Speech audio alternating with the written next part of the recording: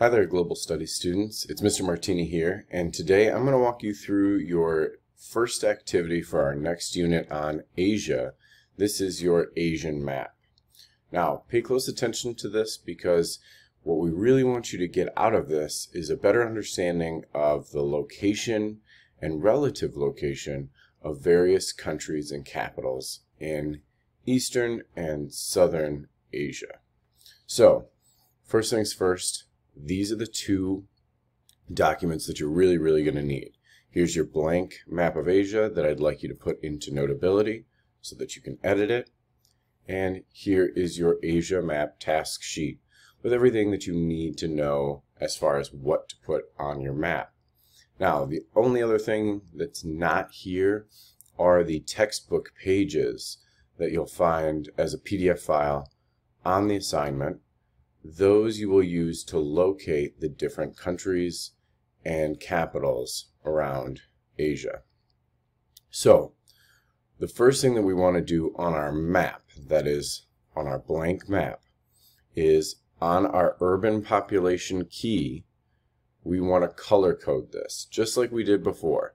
Now, you can do this with any color, but 25% and below, 26 to 40, 41 to 55, 56 to 70, and 71 and above, you want to make each of those a different color. For me, I've made them red, blue, green, brown, and purple. Now, that's just the first thing you want to do as far as getting yourself ready and prepped. The second thing that you'll want to do is fill out a little bit of your map key.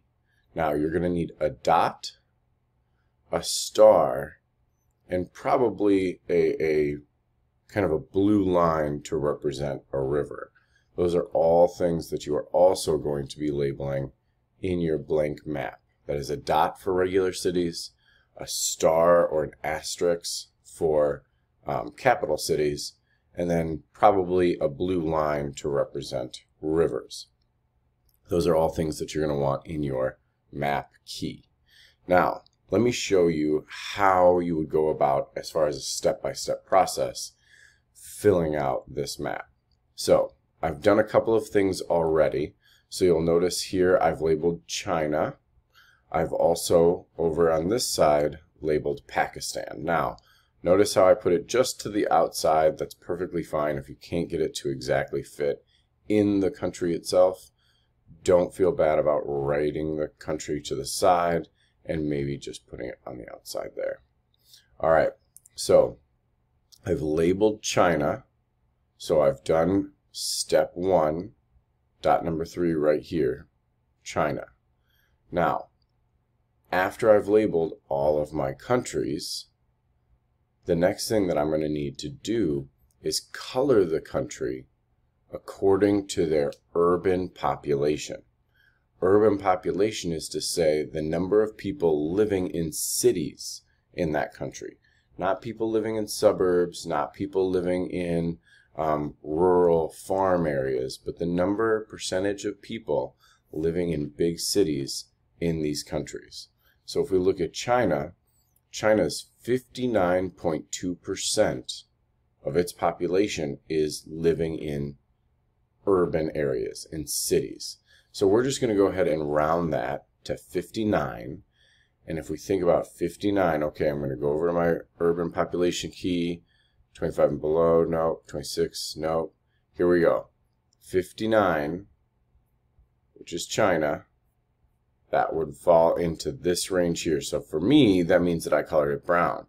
So now I would go in and color China brown. I would make this country brown to signify its urban population. Now let's take a second to do Pakistan. So Pakistan is right here, 36.7. So we could round that up to 37. So let's just do that. So 37% of Pakistan's population live in urban environments, live in cities. So where's 37%? 25 and below? Nope. 26 to 40. Here we go, 26 to 40. So for me, that means that it would be blue. So then I would color the country of Pakistan blue, and that would signify that 37% urban population. Now, after I had labeled my countries and I had colored them appropriately, I'm then going to move on to my capital or my cities that are found in each country. And this is why earlier we made dots and stars. As you go through this list, you're going to find where does this city belong. So let's take Beijing again. So Beijing is the capital city of China and is roughly, you know, right about here.